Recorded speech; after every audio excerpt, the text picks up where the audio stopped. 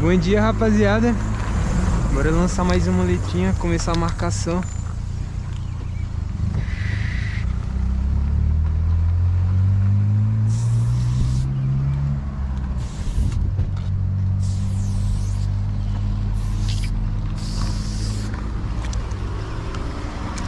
Acho que dá pra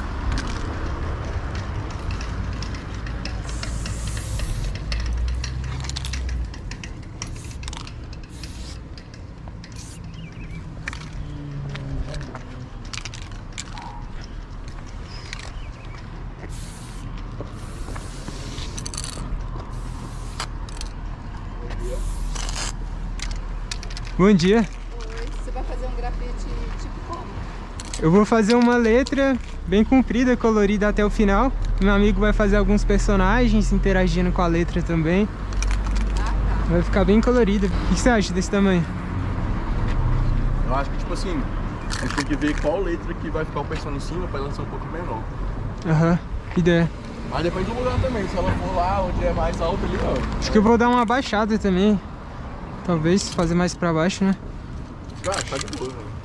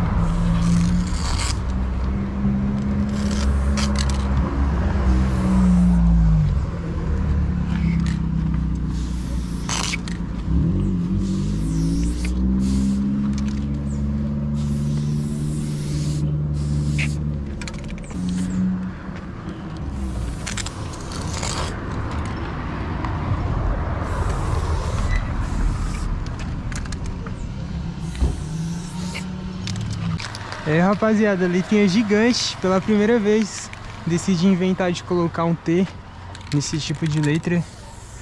E é isso. Ficar bem preenchida. Agora bora pro preenchimento.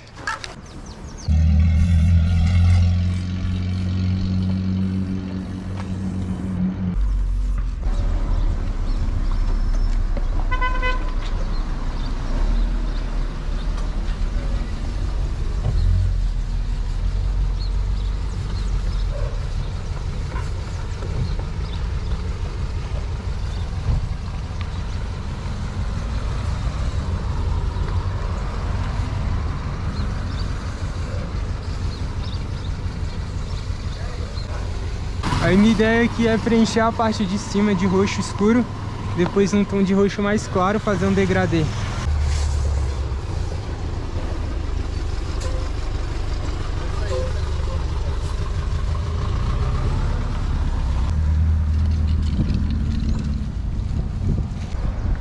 Minha ideia também é lançar a sombrinha aqui, ó, descendo, fazer as caixinhas. Pinturinha favorável, o dia tá bonito. Só espero que não chova, acho que não. E bora continuar.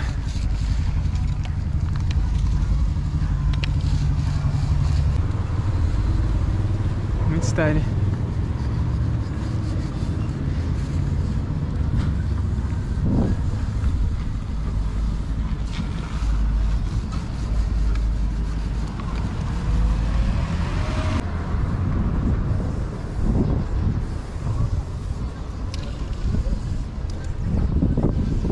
Que aqui não vai não vai cor roxa escura, vai clara.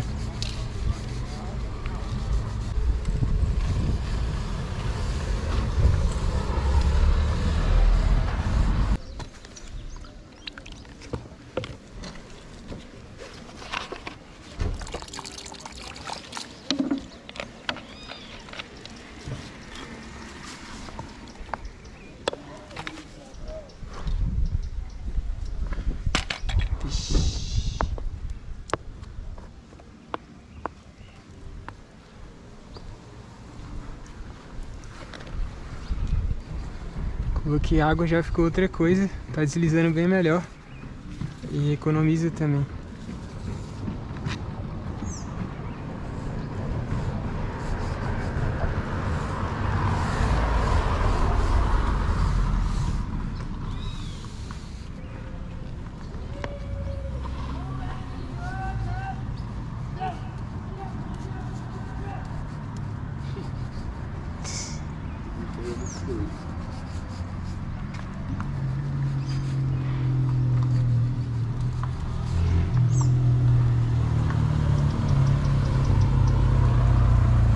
Massa de estar pintando na rua que a galera sempre para, dá um salve, troca uma ideia, prestigia o grafite, a arte.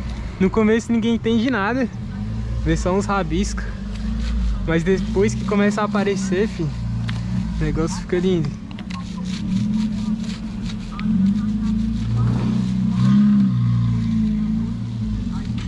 Nessa letrinha aqui resolvi fazer um T de azarte, deixar ela bem compridona mesmo e experimentando, né? Novas letras, novas possibilidades.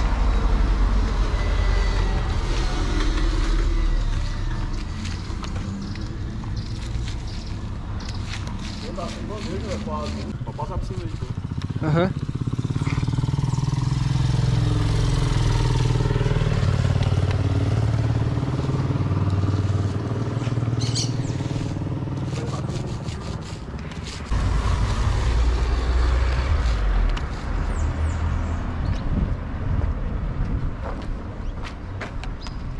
Dá mais uma reforçada em algumas partes com esse roxo escuro e depois eu vou descendo com roxo mais claro, fazer um degradê de rolinho aqui mesmo.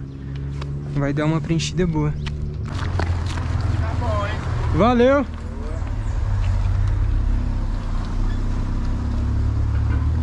O parceiro ali salvou na espátula. A gente tava raspando, tava raspando ali com a lata mesmo. Aí o mano veio e apareceu e entregou a espátula assim. Muito foda isso.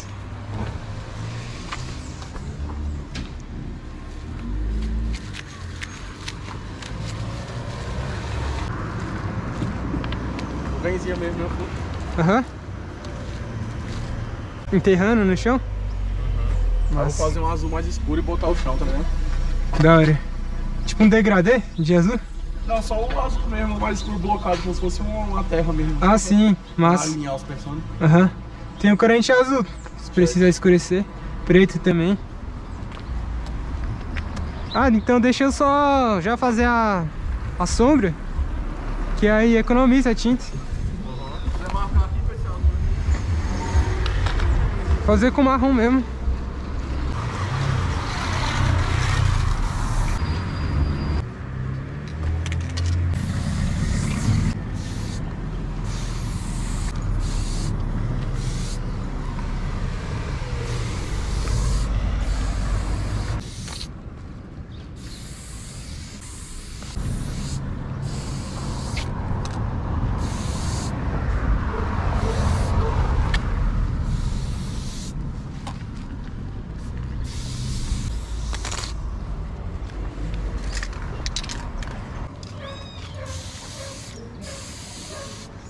E aí? É que tá meu querido. Bem demais. A ideia da sombra é tentar deixar elas no mesmo tamanho. Deixar um padrão assim. Então eu tô tentando deixar bem alinhado. E aí nas partes que cruzam, você fazer essa linha. Pá. E aí depois eu vou estar dando uma preenchida com latex escuro mesmo. Vou dar uma preenchida já na parte cinza aqui da sombra e depois eu preencho a letra.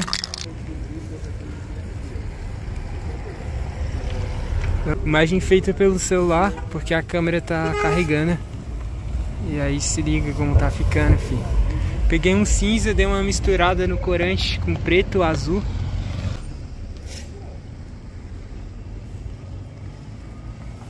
Satisfatório demais, né?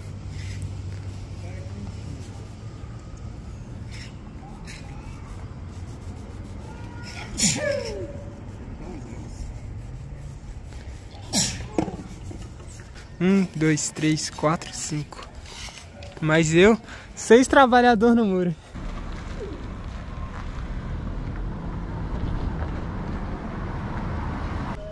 Sombrinha finalizada. Agora eu vou lançar na parte de baixo um tom de roxo mais claro. E fazer aquele degradê. Bora ver como vai ficar essa cor.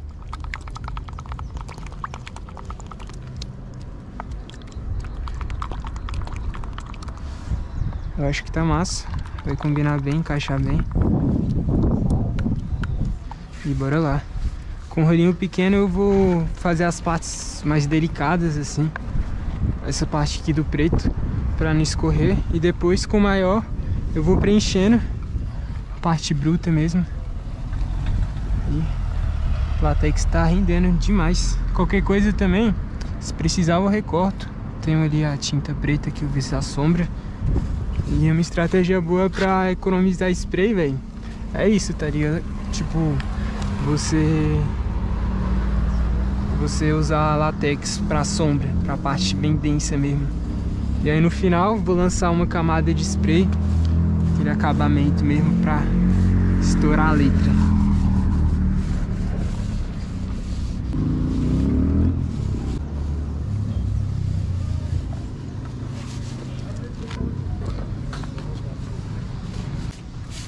Tentar ir fazendo degradê. E aí, ó, você vai ver na transição de uma cor para outra.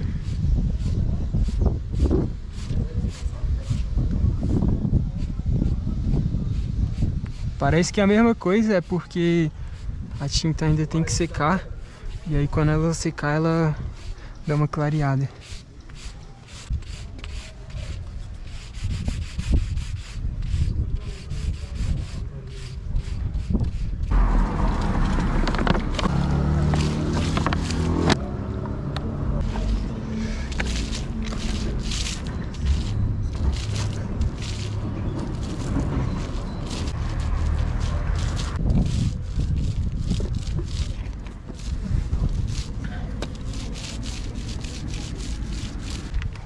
Já recortar aqui.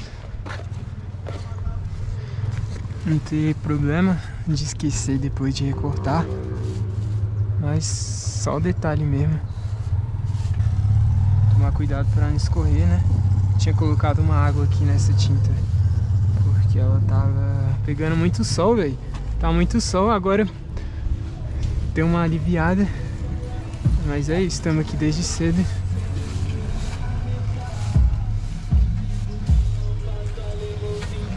De boa. Salve, salve. E aí, tranquilo? Minha mão tá toda suja, velho, mas é nóis.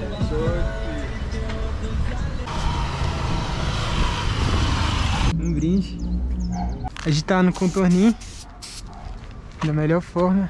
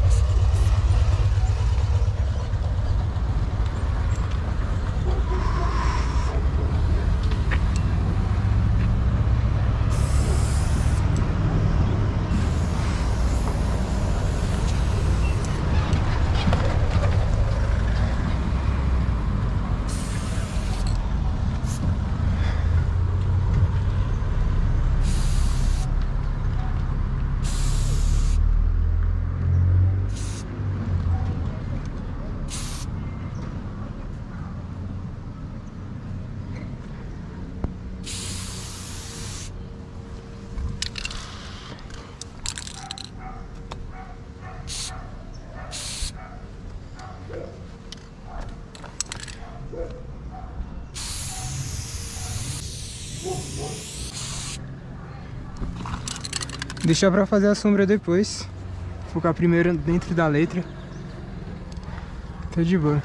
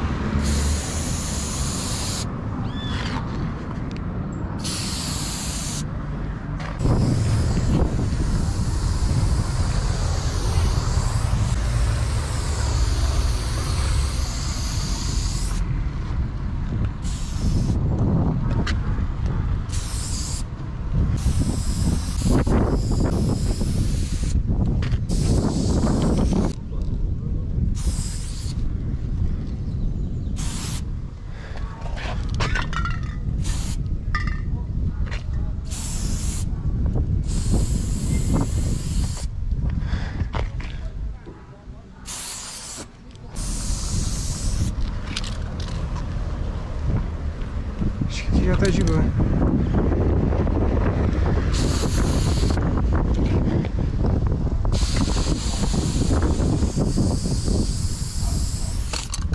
Ah.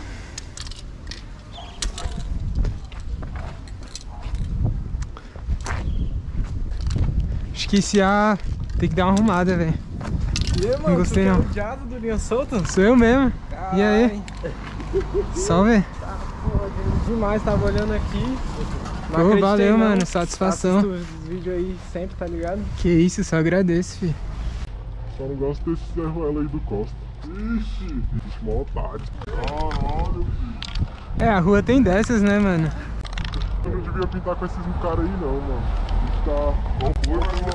Calma aí, calma Acho que a gente tem que dar uma oportunidade pra quem tá começando, tá ligado? Abraçar os iniciantes. Amizade! Muito bom. E aí? Beleza? Os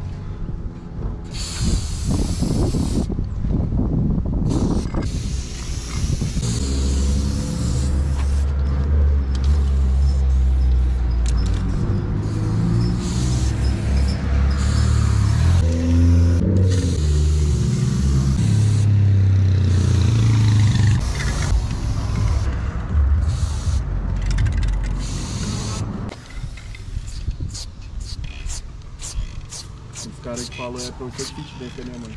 Caralho. Bota fé.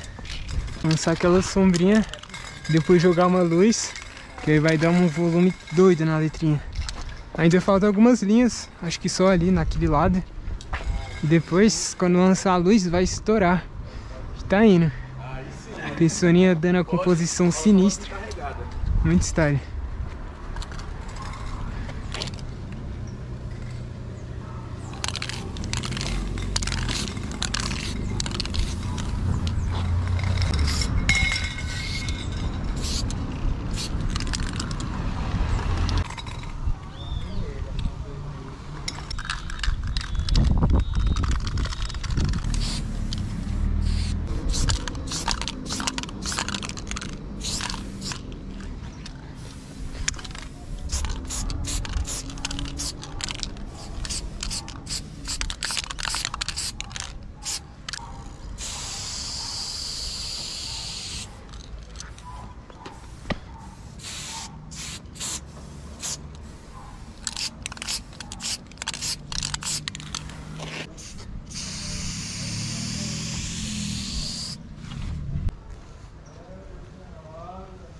Pronto.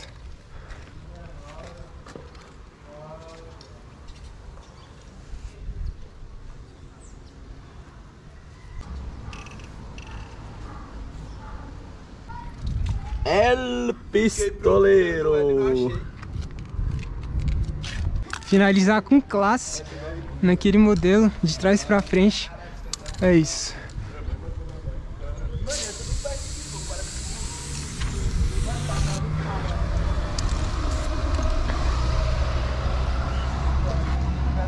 Linhas elegantes, linhas sujas.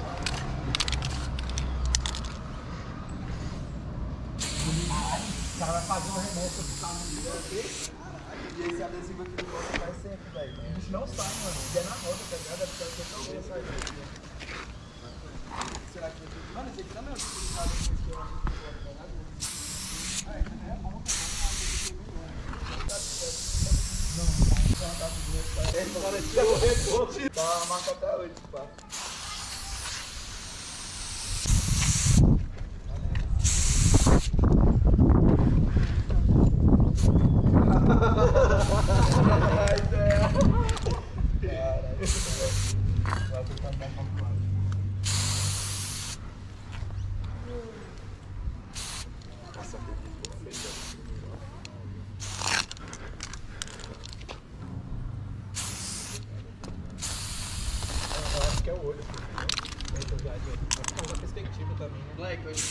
tá bonito, mas né, também se acha.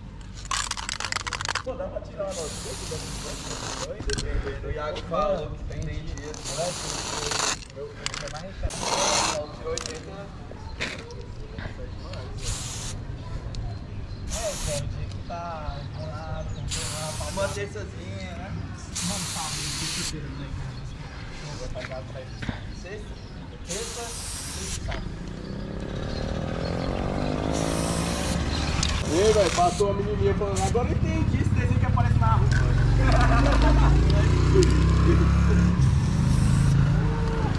Tipo assim, a mina percebe, né, velho? Mesmo sendo pequenininha, tá de olho na rua, nos grafes. Sim, velho. E, velho, quem mais percebe a rua é a molecada, velho. Ideia.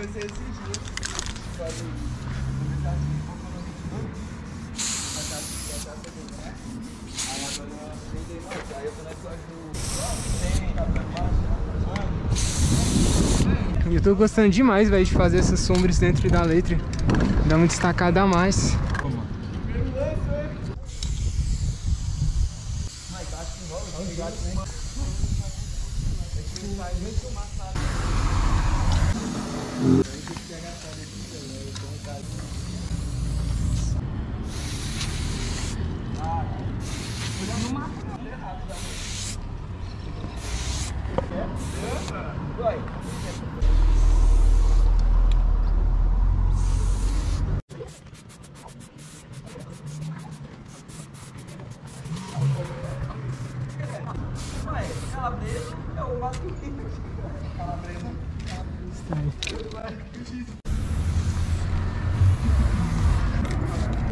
Se hidratem.